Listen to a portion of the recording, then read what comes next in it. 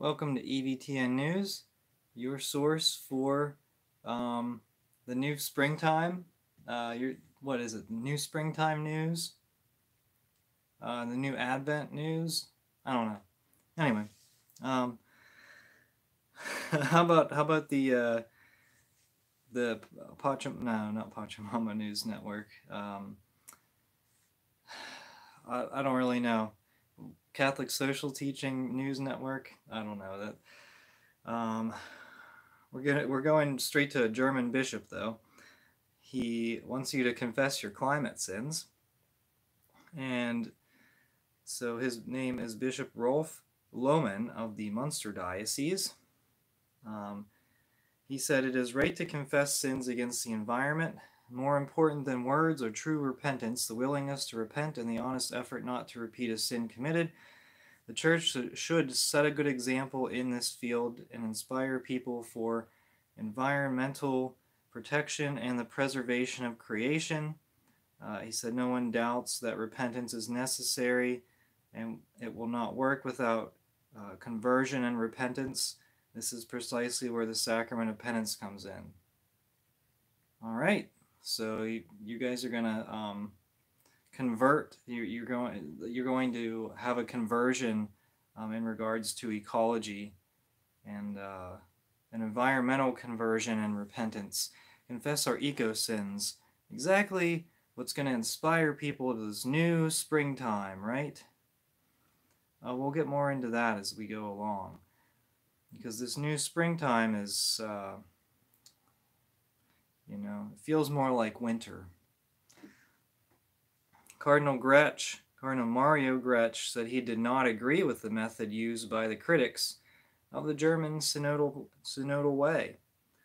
Um, he is the secretary for the Synod of Bishops, and he said he disapproved of the style. He said, I think a fraternal correction and dialogue is very positive, but why a public denunciation? It doesn't help. It only polarizes further. Grech also said, he could not say why there was this criticism of the process, meaning the German synodal way. So it sounds a lot like Mario Cardinal Mario Grech agrees with the German synodal way because he said, "Oh, you can you can uh, you can have a fraternal correction and dialogue, but don't denounce them." Okay, so there's at least like four heresies. Cardinal of the church, he should be denouncing them, but he's denouncing the people that are denouncing them. So that's what we got. That's what we have. Okay.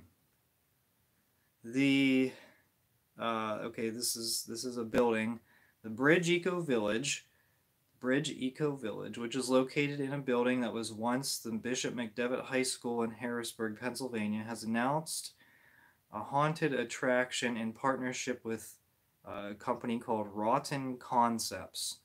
The attraction will be called the Unholy Schoolhouse and plays into the building's past as a parochial school under the Catholic Diocese of Harrisburg. The event page for the Unholy Schoolhouse mentions that the attraction will include demonic nuns and damned teachers, and that visitors will be risking not only your life but your faith and your very souls. So nice to see uh, formerly former church property being used for demonic um, uh, demonic entertainment. Uh, it's too bad that, uh, well, well, I don't know. Good thing that these bishops don't sell any property to the SSPX. They would rather sell them to demon worshippers. Okay. Big story. Uh, Bishop Barron, in an interview with Fox News, he said, One of my dreams is to establish an order of priests Go back to the Franciscans, Dominicans, Jesuits, they all responded to a need of their time, what they perceived to be this pressing spiritual need. Uh, we have mostly lay people. It's a mostly online presence, but we want to set this thing up institutionally and establish Word on Fire centers in all the major cities. The centers would be centers of evangelization, instruction of liturgy, that would then influence the wider culture. Uh, he said, So I would dream of an order of priests who would share my charism, which is, you know, teaching and preaching using the media, engaging the culture. So that's his dream. That's Bishop Barron's dream religious order, the Word on Fire religious order. Because it's Novus Ordo, I mean, I don't see any reason why, if he pursued that, that, that if, if he pursued the idea of a Word on Fire religious order, I don't see any reason why the Vatican would not accept it. It's Novus Ordo. I mean, how many people are entering Novus Ordo um, religious orders? Take a look at the uh, decline in religious after Vatican II. Uh, nuns are particularly awful. Um, I think they're like 20 percent of the nuns that there there were in uh, like what 1965 or so. It's it's bad. Um, basically, after Vatican II, people quit. Just very few people joined convents for nuns. Um, priests, it's still bad. I think it's at least uh, I don't know. Is it a 50% decline? I don't know. Uh, there's, you know, it's pretty sad. Now, Bishop Barron says that uh, these religious orders all responded to a need of their time. What is a need in our time? And I don't think he says a lot about it. He just talks about evangelization, instruction. Um, I, I honestly think he sees a need as like social media. He sees that as a need in the church. And I mean, we can evangelize through social media. Like that's how we spread the idea of the Latin Mass. That's how we, you know, that's how we evangelize to other people. But um, I think this this religious order would have a bench press limit or a limit, a bench press requirement. So I'd have to bulk up. You know, I'd have to use my supplements and do go, go into a heavy lifting program.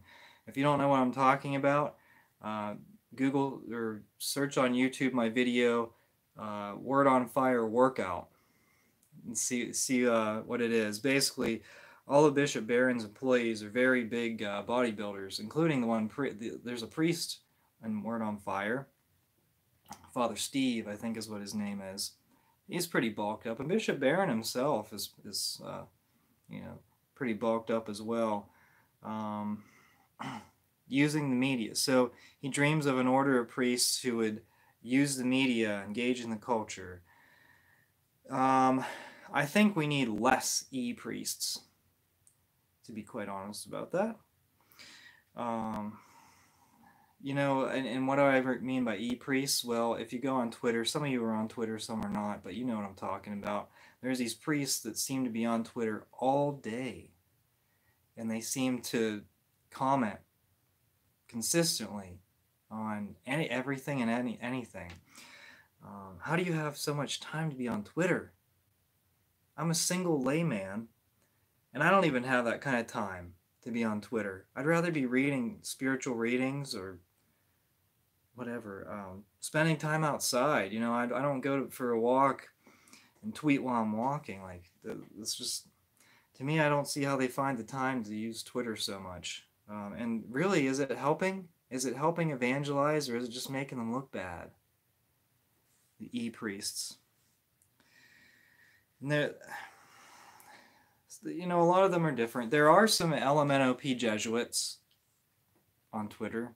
Um, understandable. A lot of Jesuits on Twitter. Hmm. Um, spending too much time on social media is effeminate. Hmm. I don't know. Are those last two statements I made, are they connected? All right, going, moving over. Speaking of LMNOP, uh, after waiting for over an hour at the Holy See press office in the Vatican to ask the San Diego Cardinal, McElroy, some hard questions regarding his silence on McCarrick and other controversial topics, LifeSite News Rome correspondent Louis uh, Knuffke was told by Vatican press office that Cardinal McElroy was refusing an interview with LifeSite. Cardinal did not give a reason to the press office and had gladly granted interviews to other news outlets that morning. Sure, if they're friendly towards him, they will, right? That's how it works.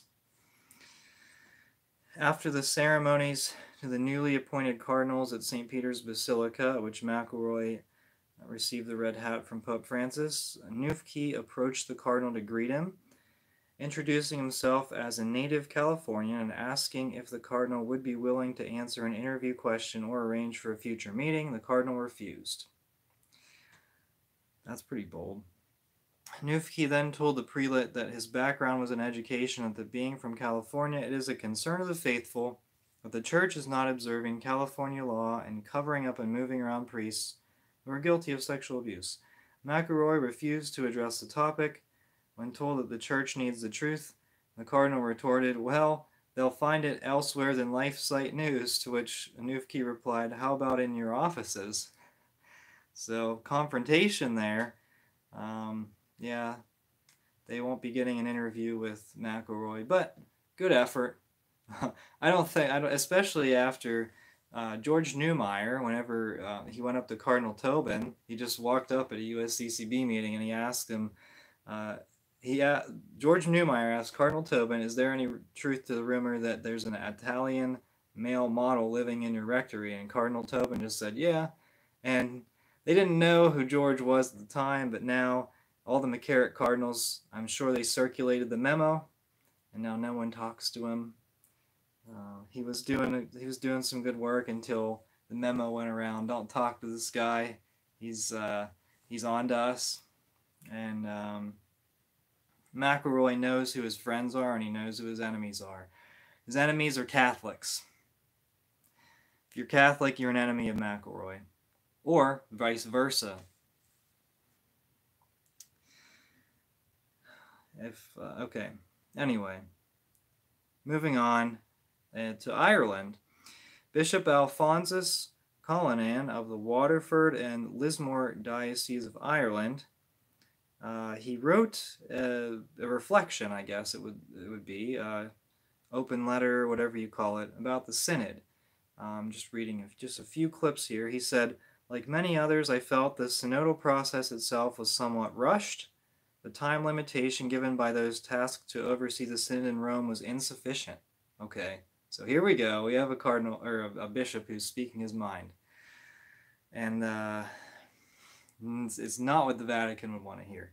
He said the synthesis, um, talking about the synthesis of the synodal reactions, he said the synthesis also reveals an attitude of what could be termed traditional faith, which is mildly dismissive, or uh, uh, sorry, it reveals an attitude to what could be termed traditional faith, which is mildly, mildly dismissive. From my own interaction with some conservative or traditional believers, it was clear that many did not engage with the synodal process at the parish level. It would be interesting to research why this was so. Is it because they themselves feel marginalized, or because they felt that church teaching cannot be changed and that there was no need for this synodal process and that little fruit would ensue? Or perhaps they felt simply that uh, they had better things to do with their time? These are all questions to ponder. If the Church in Ireland is worried about groups on the margins of society, then we will have to dialogue in a more serious way uh, with what might be termed traditional Catholics. Wow, this bishop has his head on straight. I respect that. Uh, in Ireland, the faith is, the faith is um, plummeting. It's it's really declined. And here's a bishop saying, "Hey, I mean, we need to reach out to the traditional Catholics because they believe in the Catholic faith. There you go. There's your answer. He's asking these questions. Why is the Vatican not asking these questions? All right, so there's not a lot of news from the Consistory of Cardinals. I am going to read a few of the headlines there. But uh, a lot of people thought Pope Francis might resign. Didn't happen. Um, he thought they thought maybe there would be some kind of um, conclave, like voting rolls for the next pope that would change. But uh, Cardinal Brandmüller had a reaction on this. Uh, he said the experience of recent years has been entirely different uh, from, I guess, previous consistories. He said, at the consistories convened almost exclusively for the causes of saints, Forms were distributed to request speaking time, followed by obviously spontaneous remarks on any sort of topic, and that was it. There has never been a debate and exchange of arguments on a specific topic, obviously a completely useless procedure. The suggestion presented to the Cardinal Dean to communicate a topic for discussion in advance so that remarks could be prepared went unanswered. In short, for at least eight years, the consistories have ended without any form of dialogue. So it's in and out. All right, this is going to be a formality, and then uh, we don't care about your opinion. See you later. So there you go. Um, Cardinal Brandmuller was one of the dubia cardinals, so he should be used to that by now, and it seems like he is. There you go. Uh, we talk about the faith declining in Ireland, well, also in the Netherlands. Rocketing energy bills and a shortage of priests have driven a Dutch Roman Catholic diocese to cut down on religious services in some churches. This is from U.S. News, um, which means masses. They're cutting down on masses. The Southern Diocese of Roermond, which oversees roughly 290 churches in the province of Limburg, wrote to its parishes last week to encourage some to periodically skip Mass.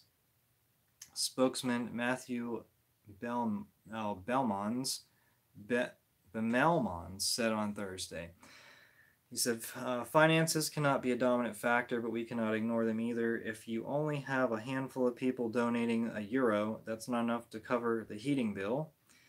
Uh, the measure was initially expected to affect 10 to 15 churches. So the diocese is encouraging priests to skip Mass. So, all right, skip Mass to save energy, There's to save money on energy costs. Well, it's starting to hurt. Uh, the uh, the lack of donations are starting to hurt, and I don't want any of my money to go to a diocese. Quite honestly, I mean, what what does a diocese do for you? They ban you from the sacraments if you have a bad bishop, or even a bishop that's decent. They might ban you from the old rite sacraments. So why should you donate any money to the diocese? Donate it to a monastery and the SSPX. Until the bishops wake up, it's starting to hurt. You can see it in the Netherlands. I mean, it's not going to make a huge impact and it's not going to make an immediate impact, but eventually it'll sink in. When we're the only people that still go to Mass, they're going to hear us. The money's going to speak. Money talks. All right, Cardinal Mueller had an interview. Uh, the, there was a question, question and answers. I'll read just a few of these. One of the questions: Do you think that uh, Cardinal Zen has been abandoned to his fate because he is an unwieldy character, given that he defends Chinese Catholics belonging to the clandestine church not aligned with the Communist Party? Is there something else going on? Cardinal Mueller said, I hope he will not be abandoned.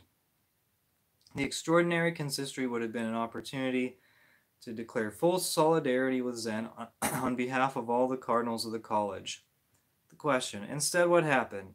Cardinal Mueller said, Nothing at all. There are obviously political reasons on the part of the Holy See that prevent such initiatives. I refer to the agreement for the renewal of bishops signed recently with the Xi government. I am sorry to say it, but we cannot subject the interests of the Holy See and the Vatican State to the ecclesial dimension and truth. So there you go. And then the question, uh, person, the interviewer asked, "Excuse me, but were there, but there were over 200, 200 cardinals of the consistory. Couldn't they have taken the initiative for a common document of solidarity on their own?" Cardinal Mueller said there was no opportunity. Well, I mean, we knew that from the Brandmuller um, statement. Uh, it is not part of the tradition, and perhaps with this internal climate, no one feels like it. There were some exchanges that, yes, uh, but only some of us. Unfortunately, we weren't able to do anything else because there was a time, there was the time tied up with the working groups, and there was not so much time available.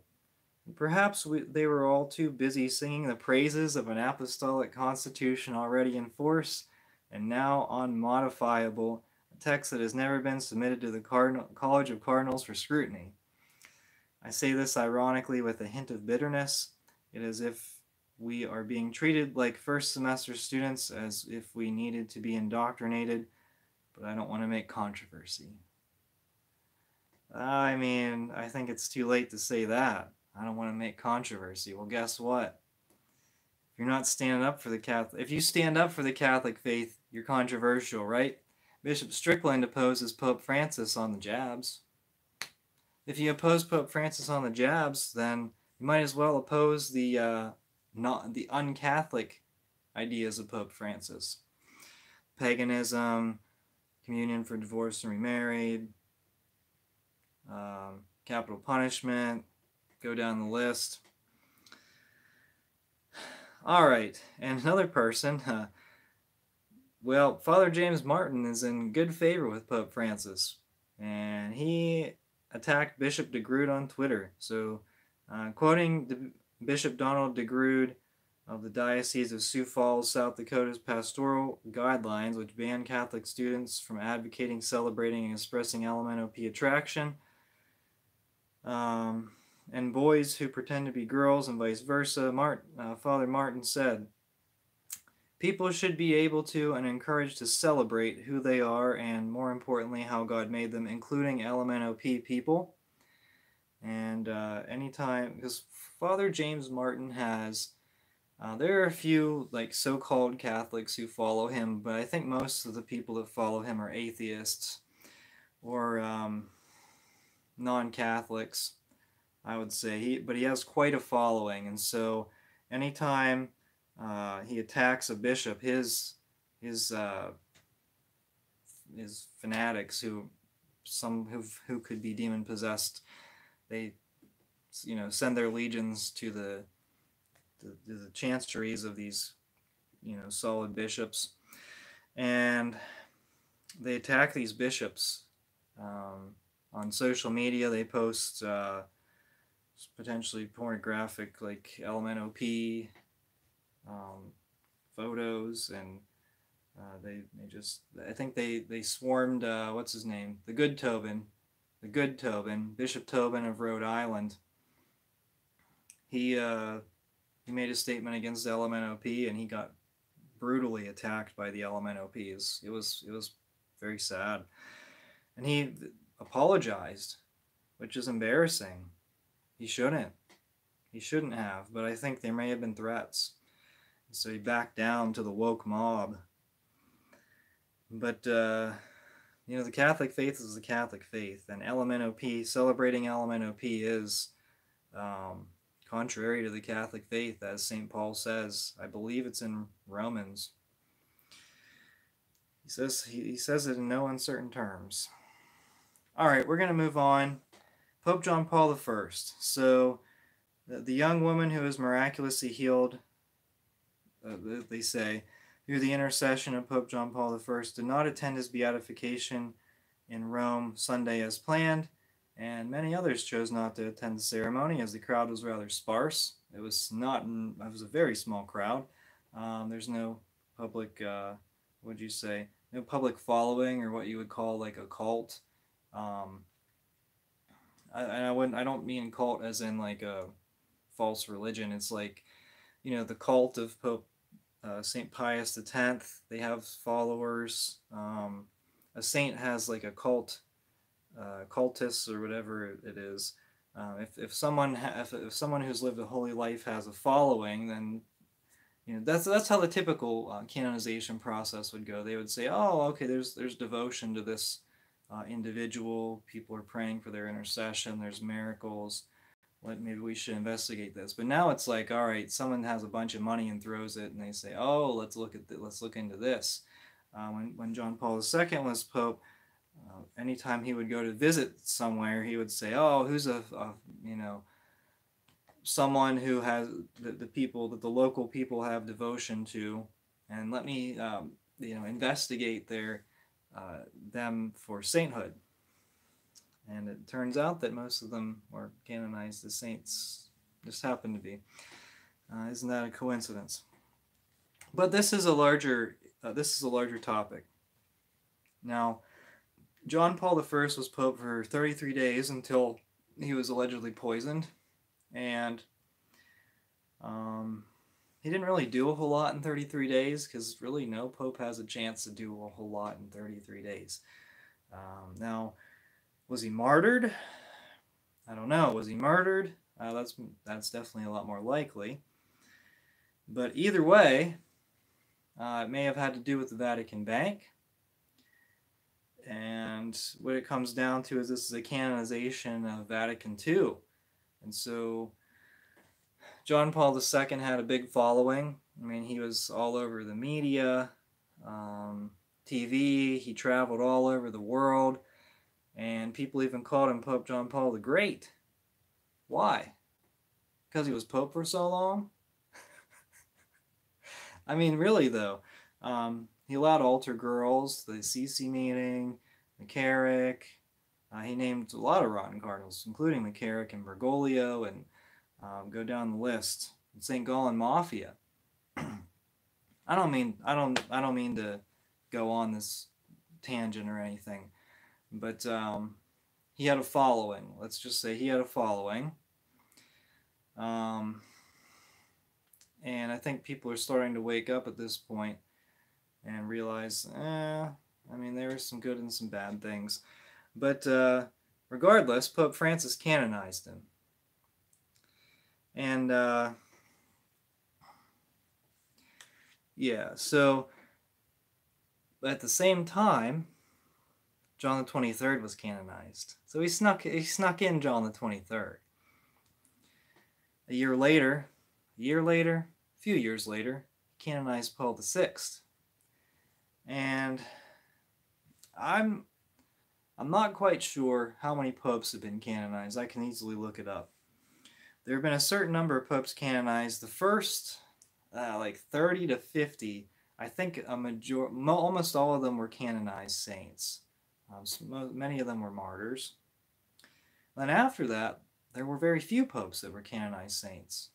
So in the last over a thousand years, there were not a lot of canonized saints. But when it came, came to Vatican II, canonized all the popes, except Benedict, because he brought back the old Mass. He won't be canonized.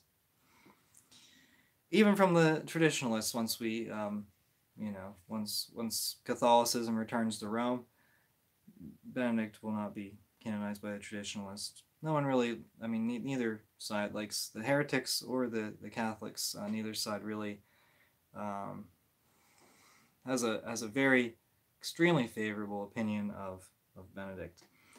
Um, so there's that. Let me get to the comments. Okay. So, oh yeah, Labor Day in the United States. In honor of Labor Day, I labored doing a lot of laundry. Yeah, same here. I was busy on the weekend, so I did. Sometime this month, I'm having some Amish made bedside tables, and I needed to clean up my room. Good. Greetings from the. Utah's a cool place. Really is. Barons Winsome Order of Bodybuilders. There you go. Maybe James Martin will join it, right? Will James Martin at least give Barron an endorsement, return the favor? Remember, Bishop Barron endorsed uh, Father James Martin's book, and someone someone commented on one of my videos. I don't I don't normally I mean I don't normally worry about comments, but this person they said, oh well, you know that's not that doesn't mean that Barron supports Father James Martin. Really? Would you would you give an endorsement to a book written by like a Protestant that is against Catholicism? I mean, come on. Like, would you? So, Joel Osteen, would you give an endorsement for Joel Osteen's book? Any of you? No? Okay, well, there you go. Because he's not Catholic, he's against the faith. Father James Martin is against the faith, so even if his book doesn't say anything heretical, why would you give him an endorsement if you're not his friend? If you don't support him as a person? Would uh, Bishop Barron give an endorsement for Taylor Marshall's book? Why not? The answer is obviously no, but why wouldn't he? Because they don't agree. They don't agree on theology. Hmm. Interesting. What do you think? Okay, if it wasn't for the need for air conditioning, they could probably do mass by candlelight. Oh, the um, the Dutch. I don't think it's air conditioning. I think it's going to be heat. The, the the heating bills are going to be pretty high. They're they're um, pretty far up north. Uh, I donate to the FSSP. They have the North American Seminary in Nebraska. Yeah. Yeah, unfortunately, I think I don't think I don't think the seminary gives money to the diocese, but um, look, I mean, if your diocese has an element of P group or anything like that, if they're still if they're doing like this wacko catechesis, what do you what is the diocese doing? What are they spending money on? I mean, they have all these people, all these employees. Um, they have an evangelization department in most dioceses. They're paying people.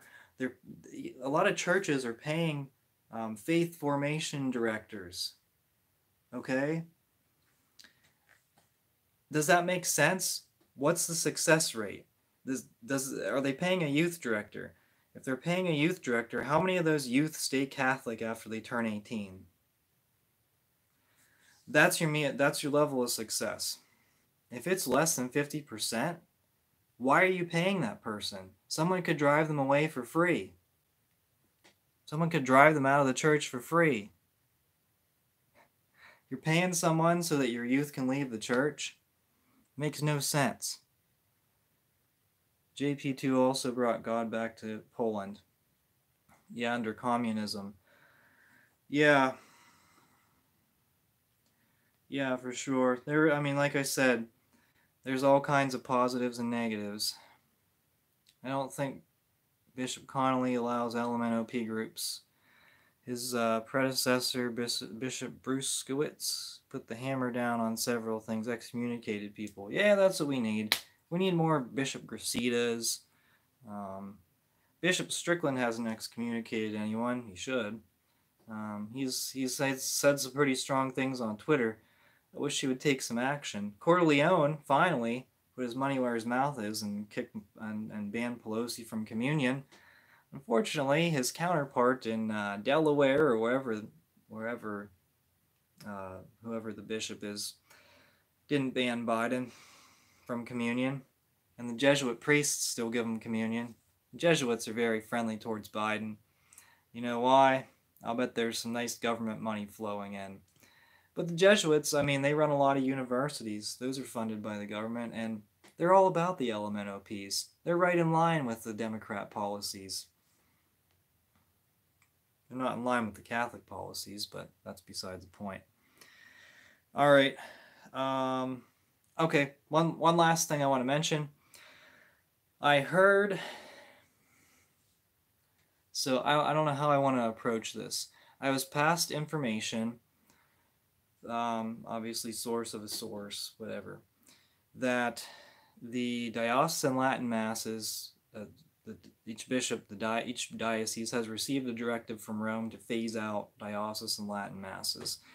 Now, um, that has been verified in at least one diocese, and I don't know the rest, but it would make sense uh, if you remember Bishop uh, what Burbidge from Arlington, Virginia, um, what he did with his with his Latin masses. It makes sense uh, the actions of Cardinal Gregory and Cardinal Cupich, and they are very close to the people in Rome. They're uh, they're, they're the Golden Boys in Rome. So that it would make sense. It would make sense if that's true. And so if, if your diocesan Latin Mass gradual is gradually getting squeezed out, if it's not yet, plan on it. Get a game plan. What's your backup plan? Because eventually that might be the case. They might be phased out. So I just wanted to pass along that information. not 100% sure if it's true, but it's been definitely verified in one diocese that that's going to be the case. There is a diocesan Latin Mass that's going to be pushed out. All right, so that's all I have. Thank you so much for watching. This has been EVTN News. Until next time, we are the laity, and we will not be silent.